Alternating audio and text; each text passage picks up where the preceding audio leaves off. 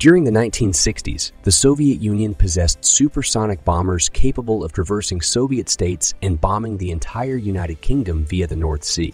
With the potential risk of war, it was imperative for Britain to acquire an interceptor aircraft that could effectively counter these threats, particularly the formidable Tupolev Tu-22M bombers, which could reach speeds almost twice that of sound and were equipped to carry both nuclear and conventional bombs, posing a significant threat to Britain in the event of a war. To address the pressing need for a capable interceptor, the United Kingdom initially evaluated various American aircraft to meet this requirement. However, after careful evaluation, it was determined that none of these alternatives met the necessary criteria.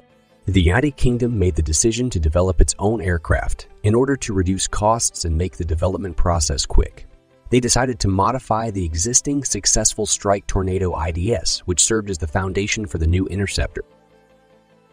The United Kingdom had initially intended to collaborate with several European countries on this project, but it proved to be unattractive to the other European partners, leading to its development being pursued solely by the United Kingdom, and on March 4, 1976, the development of the Tornado ADV was officially approved and it was announced that 165 of the 385 Tornadoes were on order for the Royal Air Force.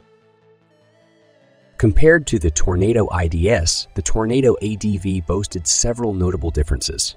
It had an increased sweep angle on the wing gloves for stability at high speeds, a lengthened radome to accommodate the Foxhunter radar, slightly longer air brakes, and an elongated fuselage by 1.36 meters. The fuselage extension allowed for the carriage of four Skyflash semi-active radar homing missiles, a crucial feature aimed at deterring successful air-launched nuclear attacks on the United Kingdom.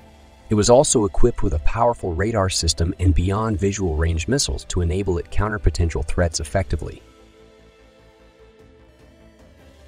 During flight testing, the Tornado ADV demonstrated significantly superior supersonic acceleration compared to the Tornado IDS even while carrying a full complement of weapons. The test program benefited greatly from the utilization of real-time telemetry, which facilitated the live transmission of in-flight data from the aircraft to ground-based technicians.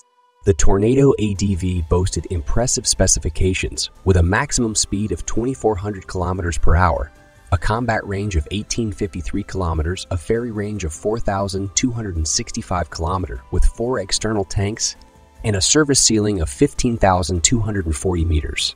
It was armed with a 27 mm Mauser BK-27 revolver cannon, which carried 180 rounds and featured 10 hardpoints capable of accommodating four AIM-9 Sidewinder or ASRAAM missiles mounted on shoulder rail hardpoints, as well as four British Aerospace Skyflash or AIM-120 AMRAAM missiles mounted on semi, recessed under fuselage hardpoints.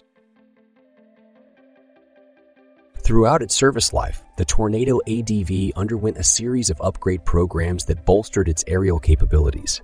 These enhancements not only solidified its role as an interceptor, but also expanded its mission scope. The aircraft's impressive adaptability enabled it to perform the challenging suppression of enemy air defense's mission, further amplifying its impact on national security. With its exceptional performance and advanced features, it garnered immense popularity and became the go-to interceptor for the RAF. However, its influence did not end there. The Italian Air Force recognized the aircraft's value and leased the Tornado ADV during the 2000s as an interim solution while eagerly awaiting the delivery of the multi-role Eurofighter Typhoon. Similarly, the Royal Saudi Air Force embraced the Tornado ADV, adding it to their formidable fleet. As the early 2010s approached, both the Royal Air Force and the Royal Saudi Air Force made the decision to retire their Tornado AD fleets, marking the end of an era. This transition was driven by the emergence of the Eurofighter Typhoon, a next-generation multi-role fighter that showcased superior capabilities and technological advancements. While bidding farewell to the Tornado ADV, its legacy as a dependable and influential aircraft remained etched in the annals of aviation history.